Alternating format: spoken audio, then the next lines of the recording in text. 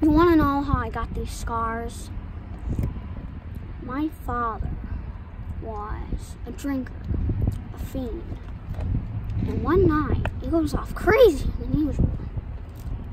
Mommy grabs the kitchen knife to defend herself. He doesn't like that. Not one bit.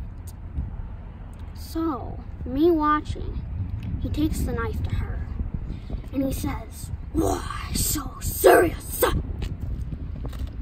Comes at me with a knife. Why so serious? Sticks the blade in my mouth. Let's put a smile on that face.